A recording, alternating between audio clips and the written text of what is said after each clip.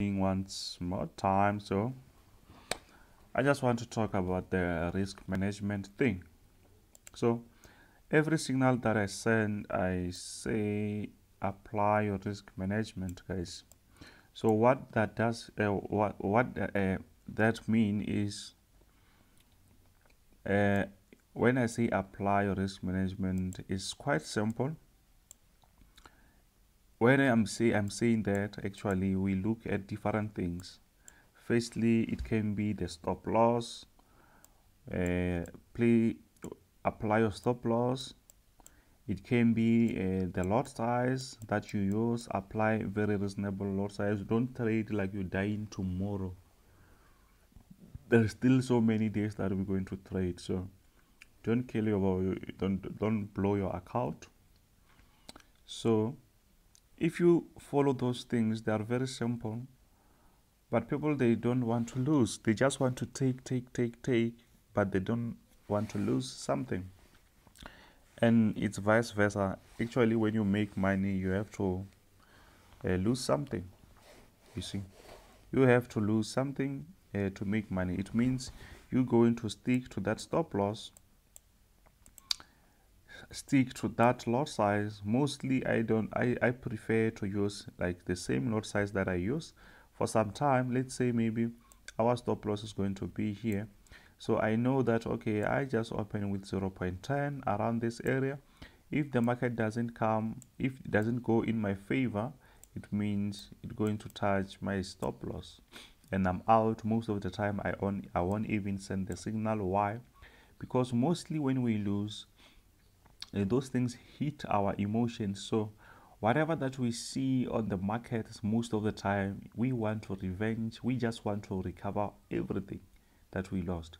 And the market doesn't work like that. You should teach yourself not to go back to the trades when you lose. Or if you are applying your risk management you can look for a different pair. Maybe you can get something. We know guys it's not easy we just try and force ourselves to do that. As human beings our emotions uh, they were made to get everything we want. We just want to get things easy. If something delays us we feel like maybe that thing is taking longer you lose patience and stuff like that. So apply your risk management means use that smaller lot size a reasonable lot size uh, apply your SL. I see this every day. I don't mind about TP because it will be that even if you adjust your stop loss, it means you will be safer. Then another thing is maybe let's say per day I'm going to send 10 signals, right? 10 signals. So those 10 signals, uh, it means that it doesn't mean that you should take every signal that I send. Let's say maybe you took we took a trade here, we made profit, we took the second one, we made profit, maybe we took this one, we made profit. Then later on I send another one. No man. I hope maybe you reached your daily target, whatever that you you'll be uh, I don't know your goals or your target, but I don't think if maybe we, even two signals per day, if you make profit with that, I don't think maybe you should just stick around the group and waiting for another signal. No, I think that way, even if you're still applying your risk management, but somewhere somehow the market can still hit our stop loss. It means you're reducing your profit that you made earlier. So if you make you trade twice and you make profit on those both i think you should just relax and do something. Do something because not every signal will be profitable you see so i don't have to uh, go tell people don't open close do this do that. If you made profit it's your choice. That's why sometimes i say it's optional because maybe few trades that we took earlier they were profitable. So when i say it's optional sometimes i don't even take those trades. You see so it means you should be satisfied. Most most of us we are not satisfied we just want the market to re, to hit our targets which sometimes is another thing that makes people lose because mostly we know how to trade but we don't we don't really make money. Why? Because we want the market to give us things that we want and the market doesn't work like that. So just appreciate every cent that the market gives you. I don't think the market owes you anything.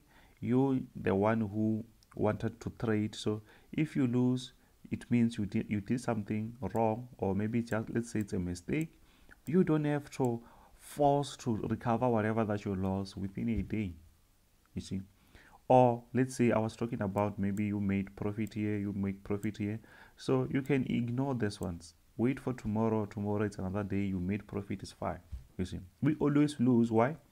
We take trade here maybe i make 50 dollars here then the second trade i make 70 dollars then the third trade hit my stop loss. It means maybe hit this 50 percent. It means 50 dollars. It means now i'm back on 50 i just lost 50 dollars now. You see? So we going back. So our success rate actually it moves like this. You're going up and down. You don't have to go like that. We understand that mostly to be successful processes like this. But it should be like this. It should go up you see this is an uptrend. You'll be making some nice cash. Sometimes you're going to lose. This is a loss. This is a loss. This is a loss. But this one you recover whatever that you lost here. Going up not like this. Sometimes people go like this going down. If you your, your, success rate or your progress is going on a downtrend is fine but try to change that. Some people please guys try to follow me i've been in the game for some time just copy whatever that i do maybe for a week. Because most of us our minds or our brains sometimes they fool us. You think that you know much but you know that you've been losing. But you don't want to follow someone. Sometimes follow that person. We know that when i say follow me i'm not saying we're not going to lose. When i lose i don't send extra signals. Please guys don't ask me for any signal if i don't send any signal it doesn't mean that maybe i'm away from the charts i'm just trying to relax. I'm trying to find some good stuff. I'm always on the charts guys unless if i tell you that i'll be busy for that day. But if not i'm always on the charts that's why most of the time when i send the signals mostly they are in profits. It means I take time to send a signal. Sometimes, yes, we do send signal quickly because we don't want to miss a certain trade, but don't come and ask me, should I buy this? Should I sell this? Should I do that? No, you should wait for me to send the signal. That is the problem that makes you to lose just because you just want to be in the trade the whole day. If you hang around, uh, they say there's a quote when they say if you uh, hang around barber shop is the barber shop or hair salon uh, you'll soon you'll get a haircut. It's something like that. If you stick around the market the whole day you can make profit but you, you will also lose. The market was created for you to lose. So if you stick around that you're going to lose. So please guys just follow me. Don't ask me whether to buy or sell. Relax relax guys. You can still make money trading few pairs so that's why we wait for nice pairs. It doesn't mean that because we trade everything we should trade take everything at once. We wait for nice opportunities and take those ones. You see? So that is that is what i call risk management. If i send signal earlier you are in a nice profit think twice i must uh, do i want to be in this trade? If you are not you can just ignore that trade. I'm not saying come tell me and say i'm ignoring. No you, you can just keep quiet and others who take the uh, whatever they, they, they take is fine. Sometimes we have to miss other trades even if they make profit is also fine you see? So lot size don't over risk don't open so many positions without any reason. Some people they just open like multiple like multiple positions. They don't know why they just do that. Maybe they see other people doing that but I do that because I split my lot size. If I'm supposed to use like 0.50 I split that with 0.10 0.10 or smaller lot size. Why? When I go into negative I can able to close them before they even hit my stop loss. It means I can close three of them and I left with two of them. It means now I'm going to lose less. If I'm going if they're going up in my favor it means I can close two. I take partial profits and I left the other ones.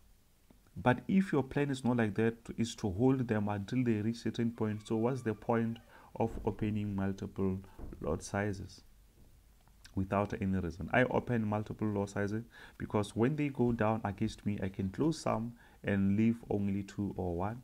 If that doesn't come back obviously they can hit the stop loss but only one position hit the stop loss.